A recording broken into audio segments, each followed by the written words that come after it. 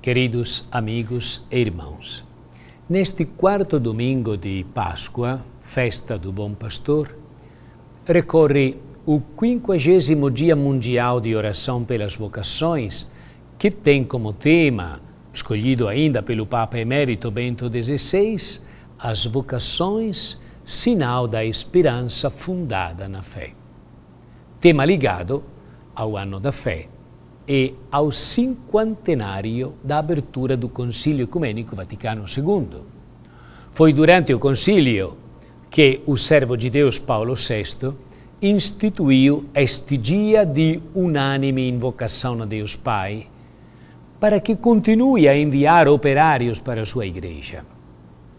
O problema do número suficiente de sacerdotes, dizia ele, interpela todos os fiéis não só porque disso depende o futuro da sociedade cristã, mas também porque este problema é o indicador concreto e inexorável da vitalidade da fé e amor de cada comunidade paroquial e diocesana. É o testemunho da saúde moral das famílias cristãs, onde desabrocham numerosas as vocações para o estado eclesiástico e religioso, vive-se generosamente segundo o Evangelho, dizia Paulo VI. A esperança é a expectativa de algo de positivo para o futuro, para sustentar o nosso presente, marcado frequentemente por dissabores e insucessos.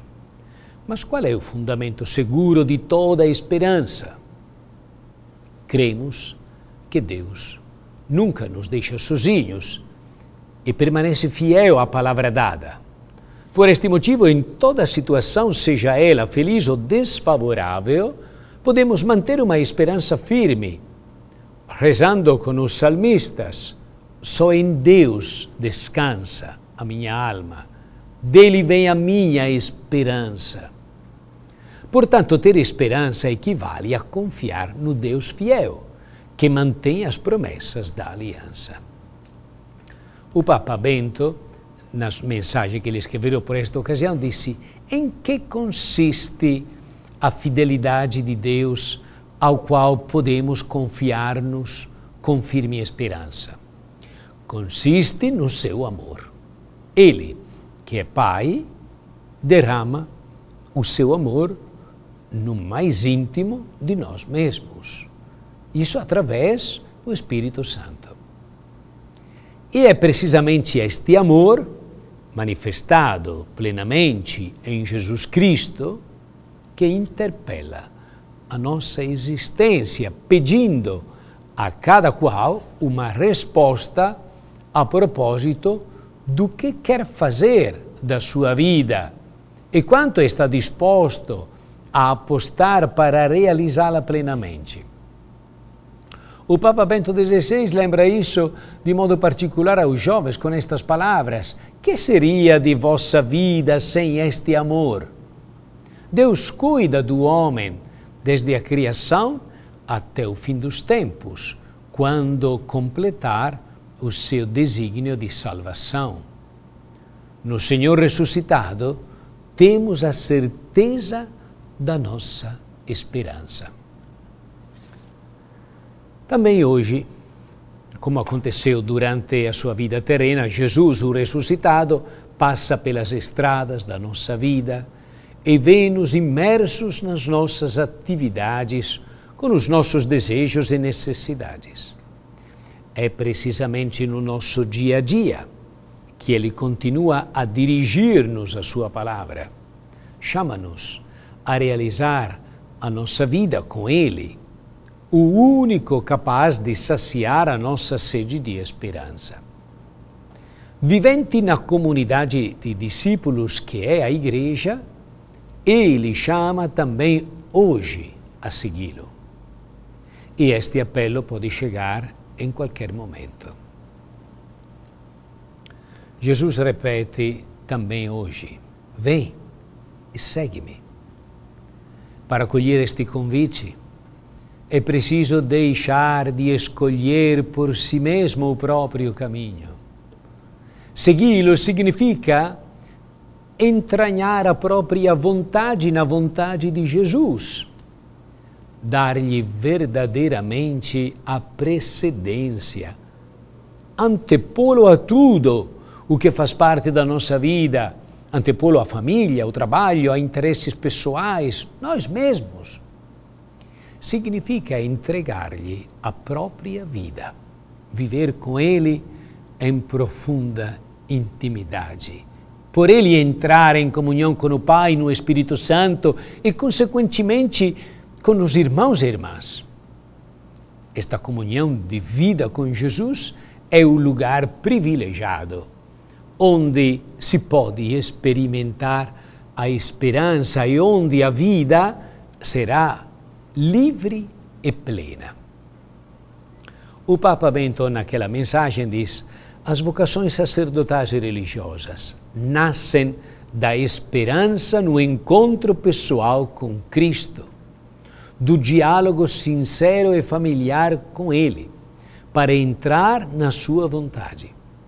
Por isso é necessário crescer na experiência de fé, entendida como profunda relação com Deus, como escuta interior da Sua voz que ressoa dentro de nós. Este itinerário, que torna uma pessoa capaz de escolher o chamado de Deus, é possível no âmbito de comunidades cristãs que vivem uma intensa atmosfera de fé, um generoso testemunho de adesão ao Evangelho, uma paixão missionária que induza a pessoa à doação total de si mesma pelo reino de Deus alimentada pela recepção dos sacramentos, especialmente a Eucaristia, e por uma fervorosa vida de oração. Esta deve, por um lado, ser muito pessoal, um confronto do meu eu com Deus, com o Deus vivo. Mas, por outro, deve ser incessantemente guiada e iluminada pelas grandes orações da Igreja e dos santos, pela oração litúrgica, na qual o Senhor nos ensina continuamente a rezar de modo justo. A oração constante e profunda faz crescer a fé da comunidade cristã na certeza sempre renovada de que Deus nunca abandona o seu povo e que o sustenta suscitando vocações especiais para o sacerdócio e para a vida consagrada, que sejam sinais de esperança para o mundo. Na realidade, os presbíteros e os religiosos são chamados a entregar-se de forma incondicional ao povo de Deus, num serviço de amor ao Evangelho e à Igreja, num serviço aquela esperança firme que só a abertura ao horizonte de Deus pode gerar. Assim, eles, com o testemunho da sua fé e com o seu fervor apostólico, podem transmitir, em particular às novas gerações, o ardente desejo de responder generosa e prontamente a Cristo que chama a segui-lo mais de perto. Quando um discípulo de Jesus acolhe o chamado divino para se dedicar ao ministério sacerdotal ou à vida consagrada, manifesta-se um dos frutos mais maduros da comunidade cristã, que ajuda a olhar com particular confiança e esperança para o futuro da igreja e o seu empenho de evangelização. Na verdade, sempre terá necessidade de novos trabalhadores para a pregação do Evangelho, a celebração da Eucaristia, o sacramento da reconciliação, sempre. Por isso, diz o Papa Bento, Oxalá não faltem sacerdotes zelosos que saibam estar ao lado dos jovens, como companheiros de viagem, para os ajudarem, no caminho por vezes tortuoso e obscuro da vida, a reconhecer Cristo, caminho, verdade e vida, para lhes proporem com coragem evangélica a beleza do serviço a Deus, à comunidade cristã, aos irmãos. Não faltem sacerdotes que mostrem a fecundidade de um compromisso entusiasmante, que dá um sentido pleno à existência, porque é fundado sobre a fé naquele que nos amou primeiro. Rezemos para que os jovens, no meio de tantas propostas superficiais e efêmeras, saibam cultivar a atração pelos valores as metas altas, as opções radicais por um serviço aos outros, seguindo os passos de Jesus. Que os jovens não tenham medo de segui-lo e de percorrer os caminhos exigentes e corajosos da caridade e do compromisso generoso. Serão felizes por servir, serão testemunhas daquela alegria que o mundo não pode dar serão chamas vivas de um amor infinito e eterno.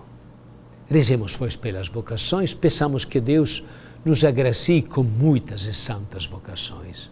E Deus abençoe a todos, em nome do Pai, e do Filho, e do Espírito Santo. Amém.